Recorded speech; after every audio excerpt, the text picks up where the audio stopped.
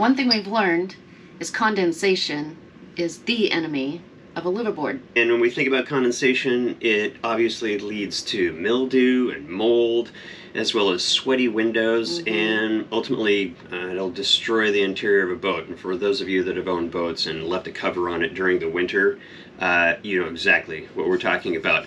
So there are three ways to be able to control what is really just a dew point problem. We're used to talking about the dew point outside. Well, you get a dew point inside as well. Join us on the Elliott as we realize our five year plan with the kids grown up, moved out, graduated from college. We take the dog, sold everything, and kitted out the boat so we can cruise the Pacific Northwest, all while living and working in the heart of Seattle. And there are three key ways to control that dew point. Number one, Is ventilation. mm, number two is circulation, and number three Is dehumidification. So in this video, we're going to talk about how we approached all three. All right, before we get going on how do you control humidity in your boat, the first thing you need to do is figure out how much humidity you have in your boat. And if you use your windows to determine whether or not you have humidity, uh, it's not very accurate. It's too late. Yeah, and it's it's too late. The problem's already begun. We recommend getting one of these. They're pretty cheap. Up there on the top, it has the temperature, but more importantly, down on the bottom, it has the humidity level. Uh, we always try to keep our humidity level somewhere between 25 and 50 percent. That keeps the the condensation low in the boat, but it doesn't dry it out too much, where you start feeling kind of itchy or scratchy. Um, and look, at the end of the day, for a boat. Uh, you know, as you can see right now, it's raining out here. So our humidity, uh, well, relative humidity is at 100% because water is falling from the sky. But, you know, especially in the Pacific Northwest, we tend not to feel too humid because it's just cool and you know, you don't need much in the way of, of humidity to be able to start rain. However, inside the boat, because we live here, we introduce a ton of moisture into the air. Uh, so what's going on outside isn't necessarily indicative of what's going on inside. So these meters just help out a ton to get a baseline of what we need to do and how we need to deal with removing humidity, circulation, or ventilation. And back in the day, when I was a kid, uh, this is how my mom used to deal with humidity on the boat. Literally, she used to take saltines and she would put them in the salt shaker or in the the sugar bowl because everything would clump up because there was so much moisture in the boat, and that was just kind of a rudimentary way to deal with it. We've come a long way now. Mm-hmm. There are options of things you can buy, especially in areas that don't get a lot of circulation with air or it's difficult to remove the humidity. Um, do you want to show kind of that? Yeah, so one of the things that we have discovered, which works really well, Mm. is that they're like these little bean bags and they absorb all the moisture.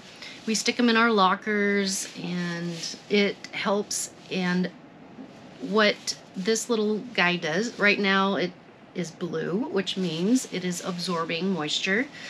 When it turns pink, then it's time to take the moisture out. Otherwise, it's not going to be working as well. So you just put it in the microwave, 600 watts for six minutes, dries it out, let it cool off, and you can stick it back in your locker. Huh. And that works really well, like we said, in the lockers, areas that don't get a lot of circulation. But when we talk about just you know cooking and showering and all these types of things that we do to put moisture into there, just breathing and living, Breathing, like we were mhm. saying, um, you need something a, a little more aggressive to be able to really pull that much moisture out of the air and be able to get down to that 50% or, or lower so that you really don't have a lot of problems with condensation on your windows uh, and, and throughout the boat. We'll join Carlin on the bridge to talk about how we address that problem. Follow me, let's go. One of the ways we deal with humidity is we have a dehumidifier. And we keep it up here on the bridge. There's a lot of moisture, it's cooler, there's water that will seep in. It's just part of a boat. And you can just set the humidity level to wherever you think is best for your location and your boat. On this particular model, it has a hose out the back and it just, there's a hole down here and it just drips out the port side of the boat. There are some models that have a bucket and you constantly have to empty them. This also has a bucket, so if you don't have a place to drain it, it just fills up. And that's great if you're on the boat, you can constantly empty it, but if you're not a liveaboard and you don't check on your boat that often, I recommend having a hose. What we have done in the past is put it over the sink and you can just have that hose constantly draining so even if you're not on your boat, then that works. And that's what we did with the little cobalt that we had. We had a drain in the sink and it just drained out of there. We left it all winter. It was outside on a lift and it was covered. When we uncovered that in the spring, it was like a time capsule. There's no mold, no mildew. It was beautiful. So highly recommend getting a dehumidifier. We'll put a link down below if you're interested in the one that we have, but that is something that we think that is necessary, especially in the Pacific Northwest. So in addition to portable solutions to basically dehumidify the boat, uh, like Carlin was just talking about on the bridge, you can also have air conditioning units in your boat that do a darn good job of being able to pull moisture out of the air as well. Uh, the Elliott has four of these they call them heat exchangers. Uh, a lot of people call them air conditioning units, but you can reverse them and they actually heat the boat as well. So heat exchangers are really it's like uh, a heat pump you would have in your home. Yeah, it's exactly what it is. Really, uh, it just uses the water uh, that the boat is floating in. That means that it has a condenser in each one of the units. These condensers basically just have the air run through them, and they, like I said, they either heat the air or they cool the air. Uh, when they're cooling the air, they create condensation that goes into a drip pan. That drip pan then has a hose that goes into a through hole and it goes overboard. In the end, it's pulling moisture out of the boat. So again, we have four of those in the Elliott. Um, up in the Pacific Northwest, you don't see a lot of boats that tend to have heat pumps. It's something more that you'll see in the Florida area or down south California. Uh, but uh, you're starting to see it more and more in boats up in the Pacific Northwest because builders just inherently put them in. Uh, having these air conditioning units, you know, we didn't think we really needed them. Got to tell you what, in the summer, it can get really hot around here. Um, and it really it pays off. But again, more importantly, they pull a ton of moisture out of the air and help us control the humidity. That brings us to number two, which is circulation. You know, one might think, ah, having AC is okay, fine. I don't have that on the boat. It's not something that is important to us. Uh, we can manage it with a, more of a portable dehumidifier. Absolutely makes sense. Uh, but if you buy a boat, we really do recommend it. Now, there's another thing that's really great that these particular units do, and that is they constantly circulate the air in the boat. They have to do it for a couple reasons. One is that to be able to sense what the temperature is with the thermostat, uh, kind of in these tight spaces, they tend to have different temperatures down our stateroom and up in the pilot house can get really hot. So they have to have constant air flowing over the thermostat. The upside of that is it makes a very enjoyable environment, but more importantly, all of these windows that you see around us, because it's colder outside, rain right now is, is falling on them, they are inherently cooler than the rest of the objects in the boat. Just through convection, by circulating all the air, we don't get condensation on these windows. We've had to do work where we shut off the electrical panel uh, on the, the boat to be able to add systems or do modifications or maintenance. And how long is it? maybe five minutes and you get condensation all over the windows. Yeah. It's that fast. It's amazing. So if you do have these air conditioning units or heat pumps in your boat, really recommend keep them running all the time as far as the air circulation. It really pays off of keeping that consistency of moisture as well as, like we said, being able to help dehumidify the space inside the boat. Now if you don't have an AC unit, Another option is even just running a fan.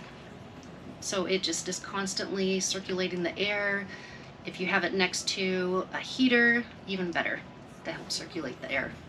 That brings us to number one, ventilation. So let's head to the head and we'll talk about one of the areas drives a lot of moisture into the air, Yep. creates a lot of problems on a lot of boats. How we deal with it, how we're planning on modifying it, and then we'll be off to the galley. That's a space that has no ventilation right now, unfortunately. Yeah, so here we are in the master head. Uh, shower behind us. You can imagine as you're warming up the water, just starts pushing all kinds of moisture into here. Uh, it does have a portal, although you know, when it's cold out or it's gross out, you don't really want to have your portal. So this space gets super high humidity super fast. And obviously it just condensates immediately on all the surfaces. So a couple things that we'll do. We obviously have a little heater here. We do that um, for two reasons. It keeps the air circulation we just talked about. And the second one is it does keep by convection all of the surfaces a little bit warmer so that the condensation uh, you know it takes a little bit more time to be able to, to form uh, just because it's, it's warmer and obviously the higher humidity the higher the temperature the less condensation you get but ultimately you're going to get condensation. And these little guys are only 300 watts. Uh, it's like a really large light bulb, so they don't draw that much, and they just do a great job in this small space of just keeping the equilibrium just about right. Uh, so that brings us to ventilation. So this boat came with really small and Very loud vents.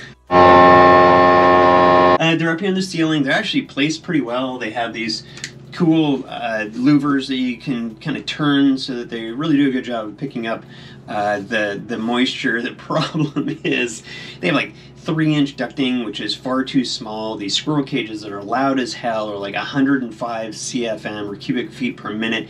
Um, it's probably not too undersized for this small of an area, but it just doesn't draw the moisture out fast enough.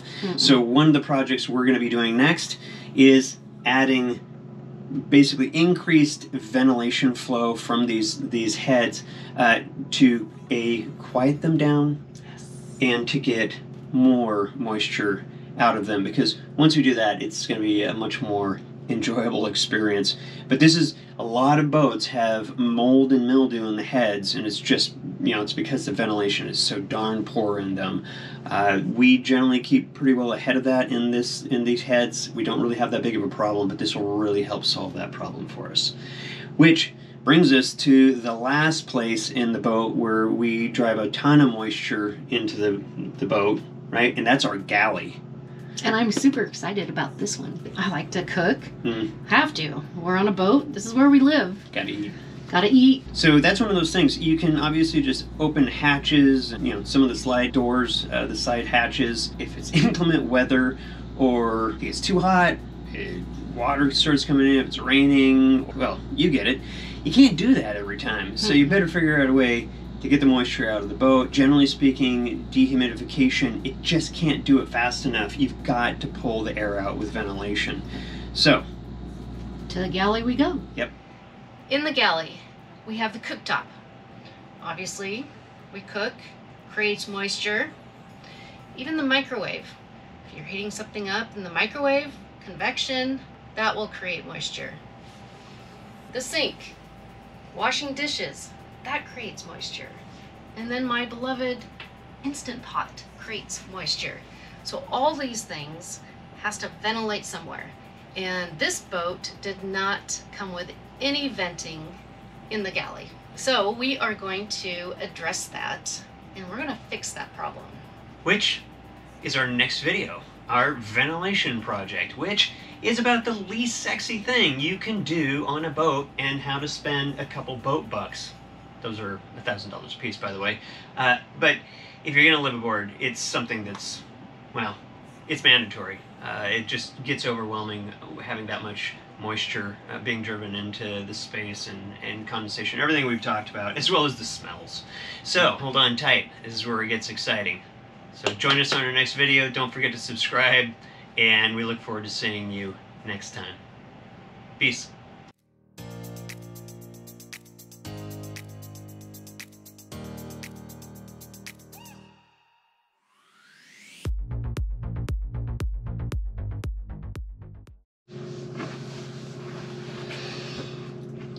And number one is ventilation. You handing off? All right, let's do this.